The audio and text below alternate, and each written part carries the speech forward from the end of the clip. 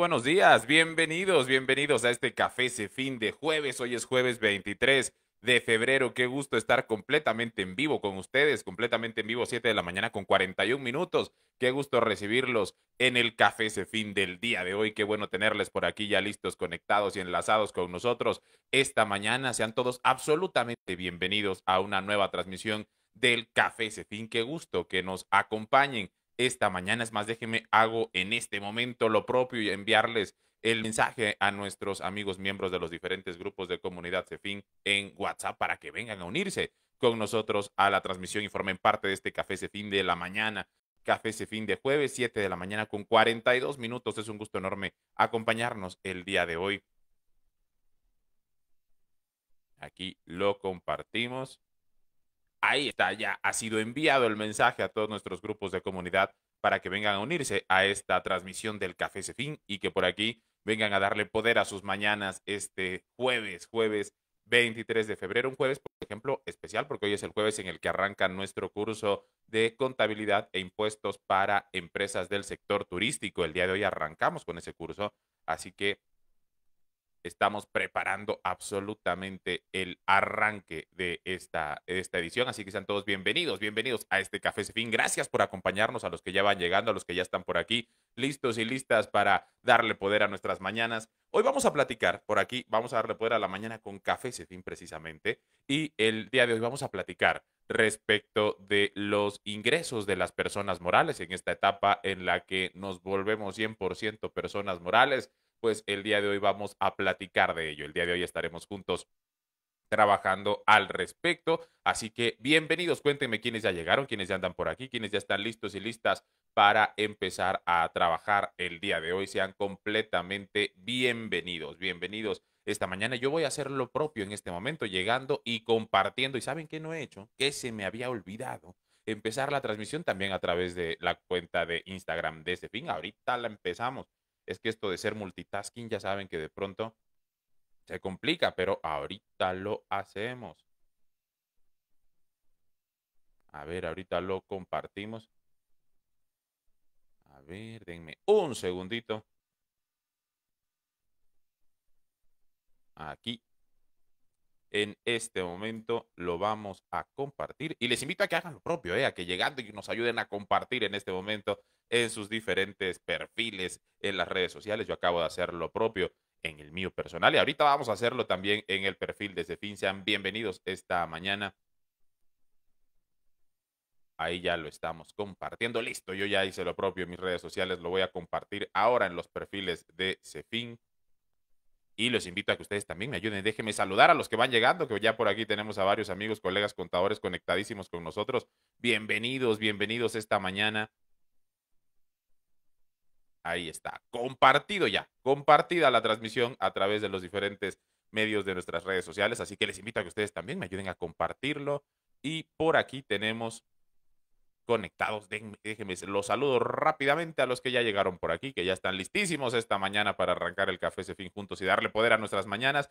Mi querida Lupita Yuen, que dice, buenos días, bienvenida a disfrutar el cafecito. Mi querida Reinalda, que ya llega por aquí. Fíjense que Reinalda ayer me reclamó porque ayer tuvimos una edición especial en la noche del café. Y ya me dijo, qué milagro, hasta que te conectas. Yo también ya los extrañaba. Lo bueno que me recibió con cariño mi amiga Reinalda. Déjense. Bienvenida, Reinalda. Qué bueno ya tenerte por aquí. Loops Mob, que también ya llega y nos dice buenos días, buenos días a todos. También ya tenemos a Sergio. Hola Sergio, buen día. Nos dice que falta un curso de pensiones. Es que a mí no me gustan las pensiones. Ese, ese es el gran problema. a mí no me gustan las pensiones. Y yo les voy a decir una cosa. Yo enseño de las cosas que a mí me gustan. Porque además, en función de, de, de, las cosas que a mí me gustan, pues también es la experiencia que tengo y que puedo compartir con ustedes. Entonces, les voy a contar rápidamente porque a mí no me gustan las pensiones. Y va a sonar horrible lo que les voy a decir, va a sonar terrible, pero pues es la verdad, aquí estamos entre cuates, ¿por qué no se puede cobrar bien? Básicamente por eso, porque el trámite de las pensiones suele no cobrarse muy bien. Digo, nunca, nunca faltan las, las personas que eventualmente eh, pueden hacer una planeación financiera de cómo quieren estructurar sus pensiones y demás, y tienen los recursos para hacerlo, pero sinceramente son los menos. La mayoría de las veces se acercan a solicitar nuestros servicios personas que están aspirando a conseguir una pensión, que están buscando en la lucha y pues que vienen con recursos limitados. No tiene nada de malo venir con recursos limitados, pero es mucho trabajo para el contador toda la serie de seguimientos hay que hacer muchos trámites, muchas vueltas, muchas cosas que desde mi muy particular punto de vista, a mí en lo personal no me gustan porque creo que puedo invertir mi tiempo de formas más rentables. Entonces yo por eso nunca, nunca lo, lo he hecho como un parte de un servicio formal del despacho, lo hemos hecho un par de veces y, de hecho ni siquiera soy yo el que ha hecho esos trámites, ha sido Marisol, mi esposa, la que se ha encargado de hacerlo y los han logrado con éxito, pero yo no le tengo paciencia a esas cosas. Entonces, yo de por sí soy un hombre poco paciente. Entonces, toda esa parte de, esperar y, y, los trámites y ver qué pasa y las vueltas y esto, y vuelvo a insistir, creo que el esfuerzo que termina uno por hacer, o por lo menos en las experiencias que a mí me ha tocado participar, el esfuerzo que, que, le toca a uno hacer comparado con los honorarios que se cobran para mí en lo personal, no son del todo remuneradores. A mí, a mí por eso no me gustan, porque no hay billete, eh, por lo menos no para nosotros, en todo caso para, para el, el receptor de, de la pensión y demás por lo menos a lo mejor ha sido mi experiencia, pero con eso tuve, con eso tuve, dije, no, mucho tiempo, muchas vueltas, y, luego a la hora de cobrar, pues me siento mal, ¿cómo le voy a andar cobrando a este señor, a esta señora? Y este, si muy a duras penas se logró la pensión, me voy a, no, me, siento mal, me siento mal conmigo mismo. fíjese, fue, un caso, ahora que lo comparte Sergio, lo hicimos para eh, el primer, la primera experiencia que tuvimos de esas características, fueron dos y los dos fueron con papás de clientes. Eh, una fue con la mamá de una clienta que necesitaba una cirugía en la rodilla. Entonces era una señora ya mayor, la clienta tenía una tienda de abarrotes, su esposo tenía un taller mecánico y la inscribe la, la, hija al taller mecánico como empleada del taller mecánico del esposo. La inscribe en algún momento para que pudiera completar las semanas cotizadas y ellos están para reactivar sus derechos, ¿no? Entonces ellos estaban ahí, estuvieron ahí como un par de años, algo, algo así. Y la señora logró, logró eh, su pensión y demás, pero hicieron una serie de trámites y un montón de cosas y el reconocimiento de las semanas. Y en una ocasión a la señora Bay se le ocurre pues hacerle un poquito a la llorona a la gente del, del Seguro Social en una de las tantas eh, vueltas. Se suelta a la señora a platicarle y le, palabras más, palabras menos, le dice la señora, no, es que mire, a mí mi hija me inscribió porque yo necesito una cirugía, creyendo que con eso iba a conmover al... Eh, por eso no me gustan esas cosas. Creyendo que con eso iban a conmover al, al ejecutivo del, del IMSS. Le dice, no, hombre, es que mire, yo a mi hija medio de alta porque me hacía falta una cirugía de rodilla y este y, y, nada más para juntar mi pensión y así, que no sé qué, creyendo que con eso le iba a ablandar al corazón. Ustedes saben cuántas historias de esas al día escucha ese hombre. Entonces, que evidentemente no, no se iba a sensibilizar con ese caso, porque pues, los criterios son objetivos, son puntos que se tienen que cumplir con base en la ley y le brinca al tipo y le dice, ¿sabe usted señora que lo que me está diciendo es un fraude al IMSS? Si nada más la inscribieron al Seguro Social para eh, tener su cirugía y no pagarla, eso puede ser un fraude cometido contra el Seguro Social y la pobre señora se llevó el susto de su vida y este y cosas por el estilo. Entonces, a mí en lo personal, yo en lo particular, yo soy contador de empresa. A mí me gusta trabajar con las empresas y, y justamente creo que ahí es donde puedo aportarle mayor experiencia, mayor valor agregado a mis servicios y al mismo tiempo, en función de esa experiencia, poderla compartir con ustedes a través de los cursos. Así que conmigo en particular no se van a encontrar un curso de pensiones, pero nunca.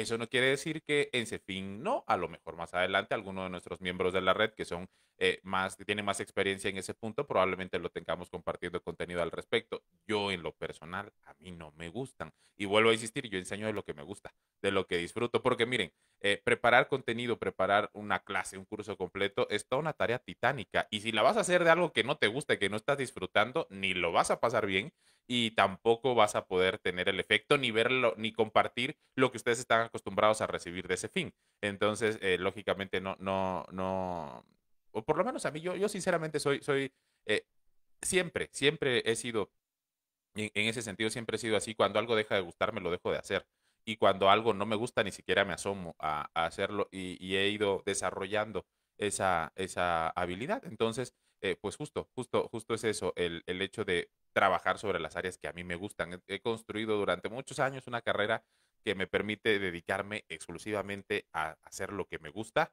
Y eso no quiere decir que deje de ser trabajo, ¿eh? Y fíjense, luego hay personas que dicen, no, es que yo disfruto tanto lo que hago que hasta lo haría gratis. Yo no Yo no, yo disfruto muchísimo mi trabajo, me encanta, me apasiona, soy un hombre particularmente afortunado de dedicarme a lo que me dedico, de, de poder vivir de ello y, vamos, que a través de la contabilidad y la contaduría he podido lograr todas las metas que, que, que he querido a nivel profesional, pero aún así, aún amando mi trabajo y aún siendo muy feliz y muy contento conectándome con ustedes, platicando de estas cosas, generando eh, el contenido que también de unos años para acá hemos venido haciendo hace fin y desde siempre a través del trabajo contable, aún amándolo con pasión y con locura, créanme, si yo lo tuviera que hacer gratis, no lo haría. Yo no. Yo, yo eh, diría yo un, conocido, bueno, fue, un buen compañero de trabajo, casi amigo durante algún tiempo, era un, pescador eh, en alguna empresa justamente del sector turístico me tocó trabajar, e, era una empresa de unas clientes y durante un tiempo me hice cargo de la gerencia de esa empresa y ahí conocí a la persona que en ese momento era el, el, capitán de la embarcación, porque era una empresa que hacía viajes, tours y demás. Entonces, él era el capitán de la embarcación, que era un hombre que se había contratado al turismo en, en ese momento, pero que durante muchos años pues se dedicó a la pesca. Era un pescador de un pueblo que se llama Champotón, en, en Campeche, en el sur del país. Entonces, el único resort que hay ahí en Champotón, ahí tenían un negocio mis clientas. Entonces, él era el capitán de la embarcación. Y eh, eh, decía cosas muy graciosas. Era, es, un tipo, es, no era, es. Eh, yo hace mucho que no tengo ya contacto con él, pero es un tipo muy, muy gracioso y muy, muy ocurrente y demás, ¿no? Entonces decía, cuando de pronto me tocaba darle alguna instrucción o cosas por el estilo de algo que él no quería o que no le parecía correcto, cosas de esa naturaleza, me decía, pues mira, yo te quiero mucho, pero no soy fanático, ¿eh? Me decía, de, pronto cuando, cuando sucedían esas cosas, yo también, así yo con la contabilidad, yo la quiero mucho, me encanta, la adoro y, la disfruto enormemente y soy particularmente afortunado de poder eh, trabajar en este sector, pero yo, eh, si, si de, no, no, no me generara eh, ingresos mi trabajo, no lo haría. Yo sí, sinceramente sí soy de esos, de esos que dicen, yo me levantaría este, a trabajar hasta gratis. No, yo, yo que, románticos, que elegantes, pero yo no. Yo, además tengo tres hijos que mantener y eso, y eso también es un factor importante en la decisión, pero sí, por supuesto que, que son, son cosas que de pronto pasan y vuelvo a decirles. Yo, por ejemplo, llegué a un punto y también por eso dejé de dar clases en universidades y en preparatorias públicas en el que dije, ya, mi labor social ya la cumplí yo mi responsabilidad social con México ya la cumplí. Yo estudié en escuelas públicas. Entonces creo que también todos los que egresamos de las universidades públicas tenemos la responsabilidad de retribuir al país un poco de lo que nos de lo que nos aporta. Hoy lo hago de una manera distinta, hoy cumplo con mis responsabilidades sociales de una manera distinta a través de medios como este, pero llegó un punto en el que yo, yo era un maestro muy apasionado en las preparatorias, en las universidades, hasta que llegó un punto en el que dije, a ver, espérate, esto me lleva horas me lleva horas y horas y horas para que cobre yo los 140 pesos que me pagan por hora, porque, porque aparte eso pagaban en las preparatorias y en las universidades. Habrá unas que paguen más, hay otras que pagan hasta menos. Entonces, yo llegué a un punto en el que dije, ¿por qué estoy haciendo esto? O sea, ¿por qué estoy haciendo esto y estoy invirtiendo en esta actividad con la que a lo mejor sí me emociono mucho, que a lo mejor sí disfruto mucho, porque, porque de verdad era apasionante, pero que no me genera el rendimiento económico que, tendría que ser o que, se esperaría por el tamaño del esfuerzo que haces. Y dije, no, hasta aquí. Y dejé de dar, dejé de dar clases en universidades eh, y en preparatorias. Y dije, este fue mi último semestre y, y yo decidí, yo decidí dejar de dar clases. Poco tiempo después, me certifiqué como instructor, porque si algo me gusta es enseñar, y ya llegó un punto en el que lo empezaba yo a extrañar, ¿no? Entonces yo e, el contacto con mis alumnos y todo ese proceso lo empezaba yo a extrañar y dije, bueno, ya no lo voy a hacer así porque además ya empezaba yo a, tener oportunidades para, para, moverme a diferentes lugares a, a dar cursos de capacitación y justamente el hecho de tener que estar amarrado a un horario escolar a veces me lo impedía. Entonces, en el último semestre yo decidí faltar a dar mis clases por lo menos dos o tres veces en el semestre porque me iba a dar cursos a otras ciudades. Y obviamente en un curso cobraba yo lo que me echaba yo en toda la quincena de, la escuela, de la prepa o de, las universidades en las que daba yo clases. Entonces, llegó un punto en el que dije, eh, pues ya, cumplí mi labor social, mi parte de la responsabilidad social que me toca cumplir con el país, ya la hice y ahora sigo cumpliendo con esas responsabilidades de una trinchera distinta. Entonces, eh, pues por eso, pero vuelvo a decirles, yo sí he decidido a lo largo de muchos años y he aprendido con el paso del tiempo a elegir las áreas en las que quiero trabajar en función de varios factores, uno de ellos sin duda el económico. Y, me gusta compartirlo, me gusta decirlo porque son de esas cosas que de pronto eh, pues suenan feas, ¿no? O sea, suena feo decirlo y dices, ay, ¿cómo voy a quedar? No, ustedes saben, yo soy muy transparente. Yo soy muy transparente y, y creo que si todos en la vida, desde muy pequeñitos, aprendiéramos a tener una relación con nuestro trabajo y una relación con el dinero más sana, sería mucho más fácil y entender el valor del tiempo que cada uno de nosotros invierte en cualquier cosa que hagamos, que eso no va a haber absolutamente nada que te lo devuelva. Entonces, yo les invitaría a que reflexionen y que, y que si de pronto ustedes dicen, dentro de todo lo que estoy haciendo, hay cosas que no me, no me satisfacen al 100%, que no me están llenando, que se pregunten si podrían estar haciendo algo que los hiciera más felices. Así de simple y así de sencillo. Y cuando digo más felices, en todos los sentidos, tampoco vayan a exagerar, ¿eh? porque yo les voy a contar que una vez, eh, justamente en esa misma empresa, en esa misma empresa de, de el capitán de la embarcación, de pronto un día venía yo de regreso y este y, y, era un lugar que estaba bastante lejos de bastante lejos del, del, pueblo estaba como 40 minutos. Entonces nadie se iba en sus vehículos porque pues evidentemente te ibas a echar un chorro de gasolina todos los días y demás y había un transporte para todo el resort y nos llevaba un autobús eh, hasta hasta el puntos de, de estratégicos no entonces iba yo ya de regreso en el autobús y me llevaba yo un libro y tan a la mano casualmente, fíjense, esta es una lectura para adolescentes, pero creo que a todos nos puede servir. Tan a la mano llevaba yo Padre Rico, Padre Pobre, lo iba yo leyendo en ese momento y, y de pronto llegué a un capítulo, ¿no? Donde, donde estaba yo analizando ciertas cosas y no, ni siquiera recuerdo exactamente qué era lo que estaba yo leyendo, pero en ese capítulo hablaba algo así como lo, lo que les estoy platicando.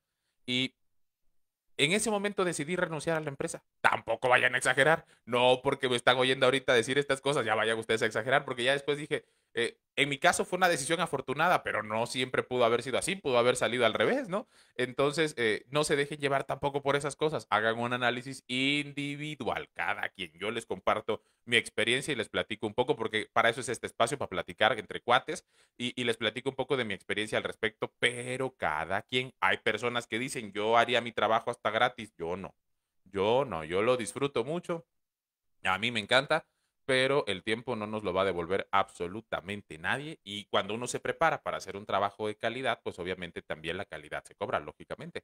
Así que, eh, pues cada quien toma sus decisiones al respecto, pero ya ni me acuerdo por qué empezamos a hablar de esto.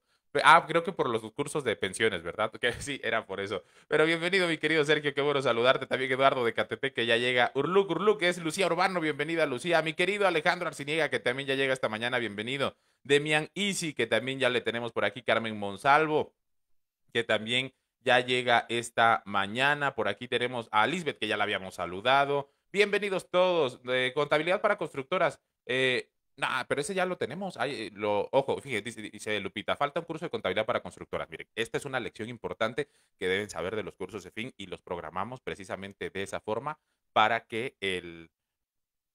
Oigan, por aquí se compartió un mensaje. Eh, el otro día pasó algo parecido. No sé si este sea un perfil nuestro o que sea desde nuestro perfil. No, miren, hay una página que acabo de descubrir y les pido que me ayuden en este momento a compartirla. Eh, no vayan a ir a eso que dice Bitcoin, no, ni por asomo. Esa es una página, eh, no es impuestos al día, es una página fake que, que alguien creó o que por ahí crearon y eh, no tiene ni seguidores ni nada y compartió un mensaje que dice Good news, 30 Bitcoin bonus se compartirán con los titulares. No somos nosotros, ¿eh? Ayúdenme a hacer una cosa. Miren, ya que están aquí, píquenle a los tres botoncitos que hay alrededor del comentario, a un costado del comentario, donde dice eliminar o ocultar el comentario. Y les pido que en este momento me ayuden a reportar esa página porque se creó seguramente por eh, algo o alguien la creó para compartir estos mensajes de spam, no somos nosotros y les pido que no vayan a poner sus datos por ahí, ni mucho menos. Así que en este momento, aquí al ladito está ese comentario.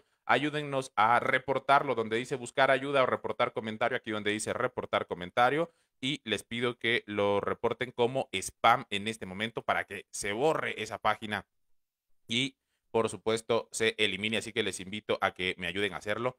De, pero fíjense que en TikTok pasó de, yo no sé, supongo que llega un punto en el que empiezas a, a, pues llamar más la atención de este tipo de, de estrategias o de herramientas. No, ni siquiera son personas, luego son programas automatizados que ven que se conectan personas a la transmisión y dicen aquí por aquí podría caer algún incauto que deje sus datos en algún enlace y demás. En fin, jamás les vamos a proponer hacer inversiones de ninguna naturaleza, salvo las inversiones que hacen en los cursos con nosotros. No los vamos a mandar a hacer eh, inversiones en Bitcoin ni nada que se le parezca. Mire, yo tengo inversiones en Bitcoin, de hecho, y hay un curso que se llama eh, Contabilidad Avanzada donde dedicamos un capítulo al estudio de la norma de información financiera que regula el manejo contable de las Bitcoin. Y hasta es muy divertido en ese curso porque hacemos una, hacemos una comparativa del valor y de cómo va cambiando y luego estoy ahí en la clase en vivo y vamos compartiendo, lo, hemos hecho un par de veces y vamos compartiendo el, valor y, a lo largo de todo el día cambia, ya, ya platicaremos un día de criptomonedas, pero eso es un mensaje fake, dice por aquí Lupita, y lo que yo les quería decir hace rato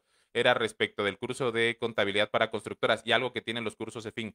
Tenemos una larga lista de cursos, pero es muy importante para, para nosotros que los cursos tengan una programación que va en función de eh, la máxima oportunidad para la mayoría de nuestra audiencia, es decir, cuando la mayoría de nuestra audiencia los necesita, pero eso sí, pues no se pueden tomar en cualquier momento. Entonces, ¿a qué les invitamos o a qué le apostamos en fin A que cuando ustedes vean un curso que les interesa, en el momento en el que lo vean, se inscriban, porque no sabemos si se va a volver a impartir o no. De pronto sucede eh, que pues personas que a lo mejor no, no han tomado todavía algún curso nuestro cosas por el estilo, preguntan constantemente de, de, la, en la publicidad que, que subimos a las redes sociales, preguntan constantemente respecto de la, de la publicidad y, dice, y, ven la publicidad no en tales fechas y preguntan, ¿cuándo lo vuelven a impartir? Pues quién sabe, mano. Y, todavía el curso a lo mejor no ha ni empezado, quién sabe. En una de esas no lo volvemos a impartir. Hay cursos que son de única edición, por ejemplo, el diplomado de impuestos sobre la renta de personas morales que está por arrancar, se va a impartir eh, este lunes, que arranca este lunes y no se vuelve a dar hasta como por octubre o noviembre y nada más vamos a tener dos ediciones al año. Y como tenemos un catálogo cada vez más amplio de contenidos, pues también cada vez son menos las veces que se van a impartir, una o dos veces al año eh, como máximo algún curso muy popular, muy necesario, pues se impartirá hasta tres veces, pero no más que eso. Entonces, eh, pues obviamente hacerles la invitación a que la próxima vez que vean un curso que les interese tomar, en ese momento hay que inscribirse porque no les puedo garantizar cuándo se va a volver a impartir, ¿sale? Pero por ahí, pronto, el de constructora se dio el año pasado, lo dimos como dos veces, eh, Lupita, así que este año también se va a volver a impartir, no sé cuándo, pero ya por aquí debe estar programado en el calendario. a Josefa Reyesa, bienvenida Josefa, gracias a Betty a Betty y eh, a Ben Anibur. Eh, vamos a ver quién es Ben Anibur. Déjenme ver si Ben Anibur realmente existe o es eh, forma parte de mensajes de spam que estaban. Si no saben que vamos a ayúdenme por aquí a todos los que respondieron a ese mensaje de las Bitcoin. Vamos a reportar esos comentarios para que precisamente no sucedan porque no vaya a ser que alguien en este momento se nos confunda y vaya a querer hacer inversiones en bitcoins o cosas por el estilo. Son situaciones que pasan, situaciones que suceden en la internet y que tenemos que estar nosotros muy, pero muy pendientes de que ese tipo de cosas no caer jamás en ese tipo de estafas. Así que les invito a que por aquí me ayuden, me ayuden a hacer también lo propio en ese proceso. Cuando vean ustedes así algún comentario de esa naturaleza, dice por aquí, soy un afortunado ganador de Bitcoin, no les crean, no les crean jamás, no crean jamás en ese tipo de información y ya tendremos espacio un día luego, pues, no, no precisamente hoy para platicarles de las, de las Bitcoin y lo que realmente representan, que es un juego más que otra cosa. Sí hay quienes han decidido invertir, pero es un juego de especulación. Entonces yo les invito a que en esa misma medida y en ese mismo sentido tengan ustedes precaución al respecto siempre, siempre, siempre. Y bueno, vamos a platicar el día de hoy respecto del el proceso de identificación de los ingresos de las personas morales en esta etapa. Anoche, fíjense que anoche eh, empezamos esto que quería yo empezar a hacer desde el lunes, pero fue hasta ayer que nos eh, aventamos a poderlo hacer porque sinceramente antes de eso no había yo tenido tiempo. Y son una serie de mini podcasts, le llamo yo, que hemos decidido preparar un proceso en el cual a lo largo de estos días, previo a la etapa de las declaraciones anuales de las personas morales, pues nos podamos ir acompañando en el camino, que podamos ir haciendo juntos un proceso de acompañamiento y en ese mismo sentido, poder ir revisando los puntos clave de cara al impuesto sobre la renta de las personas morales y al mismo tiempo también en función del proceso de cumplimiento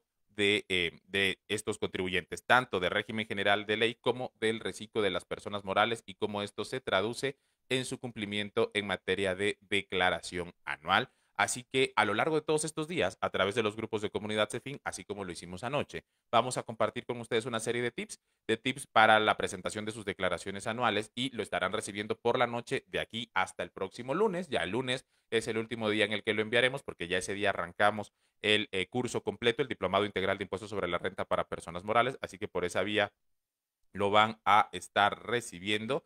Así que eh, de esa forma vamos a, podernos contactar, vamos a podernos contactar y vamos a poder ir avanzando en el proceso de cumplimiento para este tipo de contribuyentes. Así que todos aquellos que aún no forman parte de nuestra comunidad CEFIN en eh, WhatsApp, los invitamos a que se unan, a que formen parte de nuestra comunidad, porque por ese medio, todos los días, vamos a estar compartiendo con ustedes contenido al respecto. Así que eh, sean muy puntuales por ahí. En las noches, más o menos como por ahí de las ocho, ocho y media, les estaremos compartiendo ese mini podcast. Son dos o tres minutos en los que vamos a platicar con ustedes tips importantes de cara a la presentación de la declaración anual de las personas morales. Así que por esa vía lo pueden recibir y los invito a que por ahí estén pendientes. Y vamos a platicar el día de hoy de los ingresos, de los ingresos de las personas morales y la principal diferencia que existe entre los momentos de acumulación del ingreso en un contribuyente persona moral de reciclo y un contribuyente persona moral del régimen general de ley. En este caso,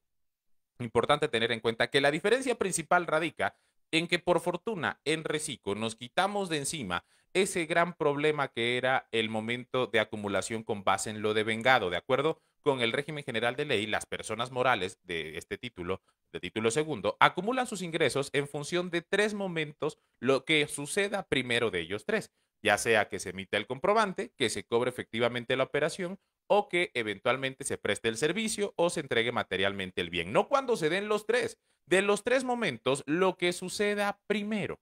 Y eso quiere decir que puede haber casos en los que yo tengo la factura, pero no tengo todavía el dinero. Y por el simple hecho de tener ya la factura emitida, yo como persona moral de régimen general ya tengo la obligación de acumular ese ingreso. Esto para las personas morales de Reciclo vino a ser un cambio importante, una solicitud de muchos años, de muchas empresas y contribuyentes, porque seguro a ustedes también les pasó que en muchos escenarios sus clientes tenían esas facturas emitidas, pero no estaban cobradas y pasaban a lo mejor uno o dos meses para que las cobraran, pero desde el momento en el que estaban timbradas ya se hacía una afectación en materia de pago provisional, ya teníamos que pagar ISR sobre dinero que ni siquiera teníamos todavía, sobre dinero que ni siquiera habíamos cobrado, que la empresa no tenía y era evidentemente un problema el hecho de tener que hacerlo porque evidentemente de dónde iban a sacar el dinero y de pronto eran de esas cosas que nuestros clientes nos decían, oye, pero ¿por qué? Oye, pero es que mira, ahorita no tengo, ¿sabes que No lo vamos a poder presentar o manda la línea de captura y que no se pague porque hasta que cobremos realmente vamos a tener el dinero para pagarlo y además no son tres pesos, ¿no? Entonces, ese es un problema que siempre afectó la liquidez de las personas eh, morales. Entonces, lógicamente, sobre, sobre ese contexto, eh, eh, era necesario el, proceso. Dice eh,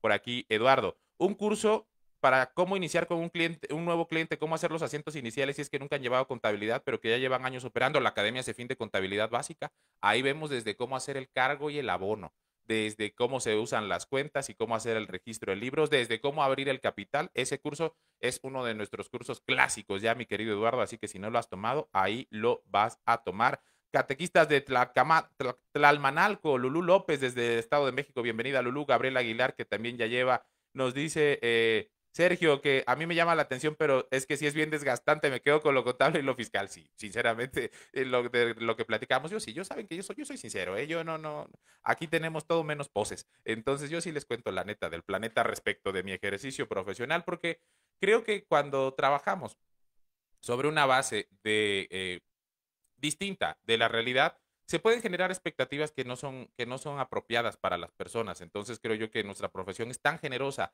y es tan eh, amplio lo que podemos hacer que los campos de acción son enormes. Nada más es cuestión de que cada quien encuentre en lo que le gusta ese punto para, para explotarlo. Yo vuelvo a decirles, a mí esa parte no me emociona, pero hay muchos colegas a los que sí, y además que les sale estupendamente y arman unas estrategias impresionantes. Entonces, eh, cada quien, cada quien, todo ese talento aplicado a, esa actividad es estupendo. Yo nada más, así como apunte, no, no por meter la cizaña, sino pensando en, en poderles... Eh, pues no sé, yo, yo a mí me gusta que, que mi gremio se desarrolle, que mi gremio crezca. Me encanta ver amigos, colegas, contadores creciendo, desarrollando sus despachos y demás.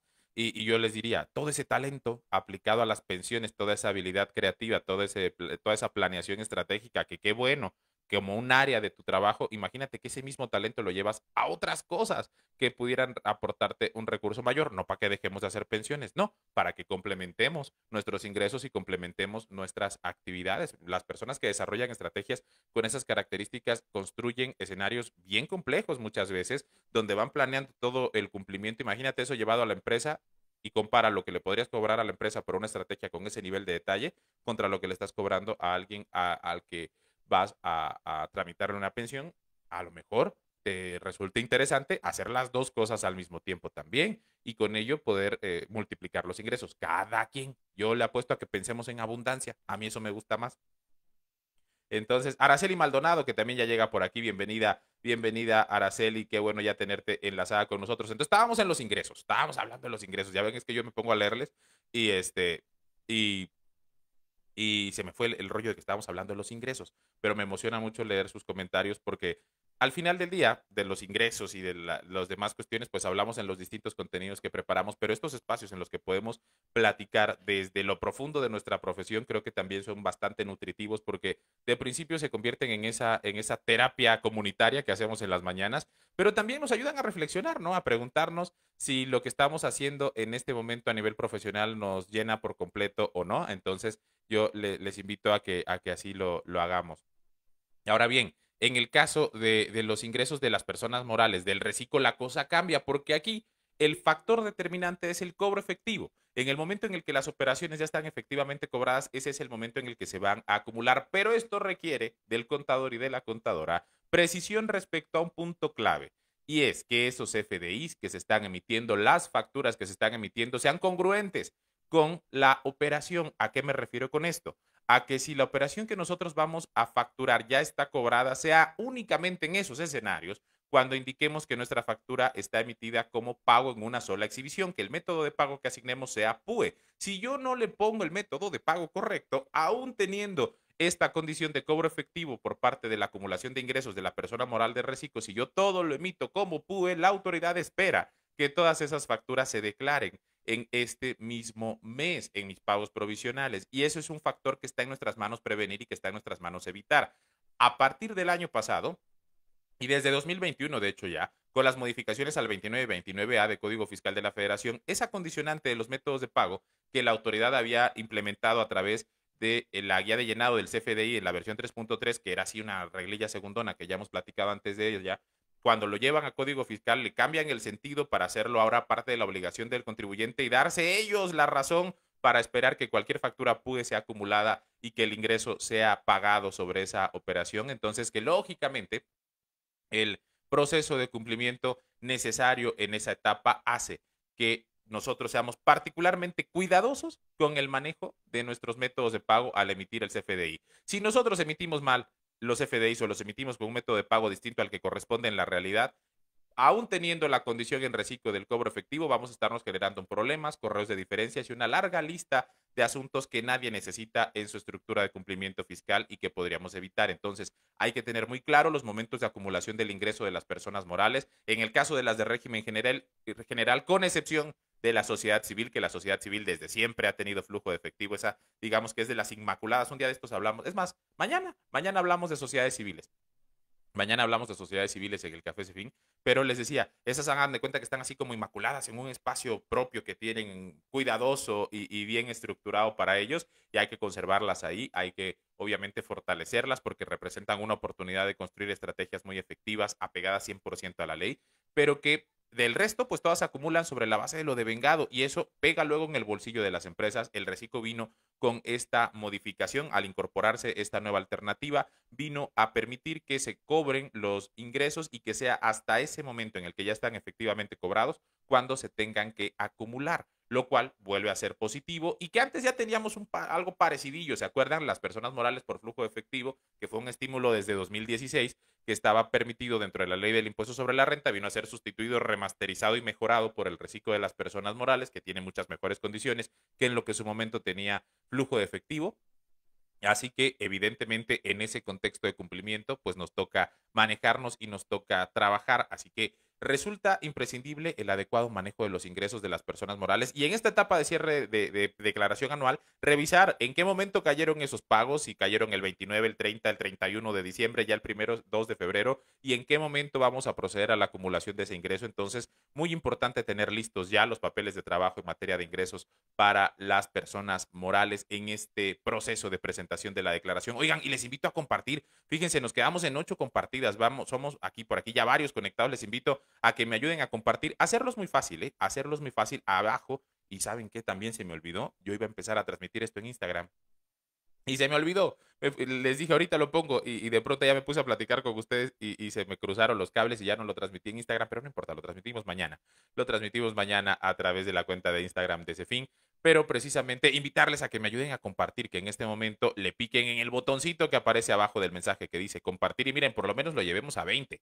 A 20 veces compartida esta transmisión de ese fin. Les pido que por aquí lo compartan. Gracias a los que ya lo están haciendo, un botoncito que dice compartir, píquenle ahí y que muchos más colegas, amigos, contadores y contadoras nos acompañen esta mañana a darle poder a sus mañanas a través del Café Cefín. Y pronto, eh, para los que han estado preguntando, pronto vamos a tener ya el Café Cefín a la venta. Ya están aquí, sinceramente ya están aquí, pero eh, no, se han, eh, no hemos tenido el tiempo porque les cuento, nuestro equipo ha crecido en las últimas, en las últimas semanas, ha crecido nuestro equipo de trabajo y pues obviamente en ese proceso pues estamos todos adaptándonos a los tiempos y demás. Entonces el, el equipo, la gente que hace las redes sociales de ese fin, Jesús, uno de los miembros de, nuestro equipo de trabajo, pues no ha tenido tiempo de subir esa información del café ese fin porque lo tengo ocupado haciendo muchas cosas, pero ya pronto, ya pronto tendrá oportunidad esta semana o la próxima de hacerlo, así que ya por ahí van a poderse tomar el café ese fin con nosotros, el café ese fin en así en paquetito de Coatepec, Veracruz, espectacular para que le demos juntos poder a nuestras mañanas todos los días.